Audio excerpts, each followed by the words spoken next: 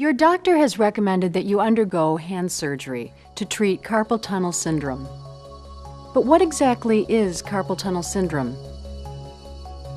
The median nerve, which carries sensation to the thumb and first three fingers, passes through a natural passageway in the wrist.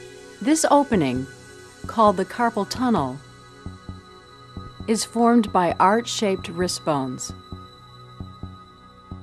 and a connecting ligament. Various conditions such as pregnancy, injury, arthritis, and changes in the tendons caused by repetitive motion can crowd the already narrow tunnel, putting pressure on the nerve.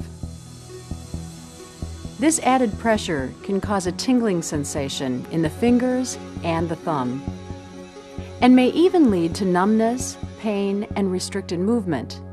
This combination of symptoms is called the carpal tunnel syndrome.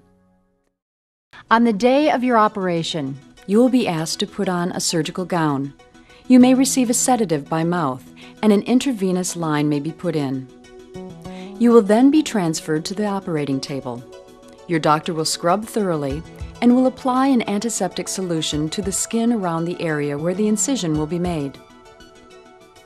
Next, the surgeon will numb the involved area of the hand and wrist with an anesthetic, either with a local injection or by completely blocking a nerve higher up on the arm. When the operative field is completely numb, the surgeon will make an incision. Skin and other tissue will be carefully drawn aside to expose the carpal ligament. Then the surgeon will cut the ligament,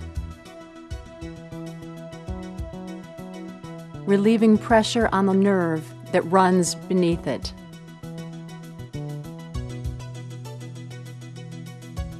Finally, the doctor will close the incision with fine sutures.